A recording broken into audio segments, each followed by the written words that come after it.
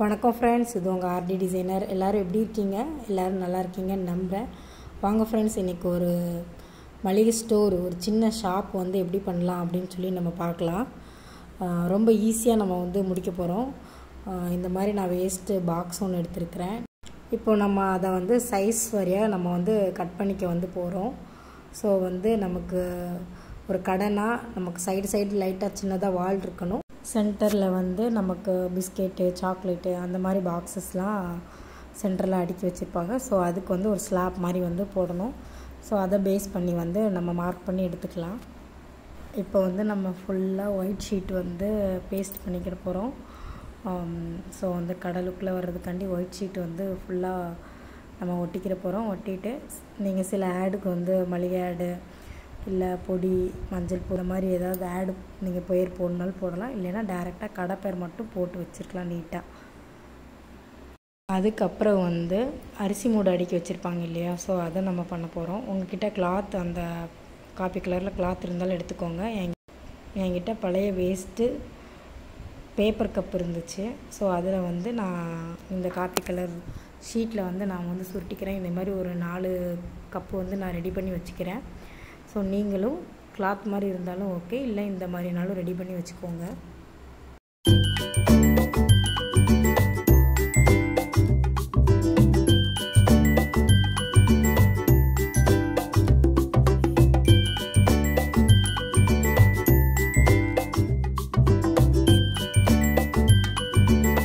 வந்து நம்ம அரேஞ்ச்மெண்ட் மட்டும் தான் பண்ண போகிறோம் கடை வந்து ரெடி ஆயிடுச்சு. நான் நேம் போர்டு எழுதிட்டேன்.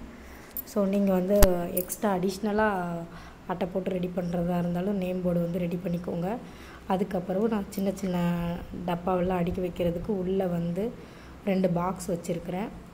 ஸோ அந்த ஹைட்டுக்கு ஏற்ற மாதிரி நீங்களும் அந்த பாக்ஸ் வச்சுக்கோங்க. இப்போ எங்கிட்ட உள்ள அக்ரலிக் பெயிண்ட் இருக்குங்களா? பெயிண்ட் பாட்டில் தான் நான் இப்போதைக்கு அடுக்கி வைக்கிறேன். உங்ககிட்ட வேறு பாட்டில் குட்டி குட்டியாக இருந்தாலும் கூட அதை அடுக்கி வைக்கலாம். ஏன்னா இந்த மாதிரி பாட்டில்லாம் சேம் ஒரே சைஸாக இருக்கிற மாதிரி வச்சுக்கோங்க. அப்படிங்கிறப்ப நமக்கு வந்து பார்க்குறதுக்கு வந்து நீட்டாக இருக்கும். ஸோ வந்து நான் இதில் உள்ள பாட்டில் எல்லாமே நான் வந்து வரிசையாக அடுக்கி வச்சுக்கிறேன்.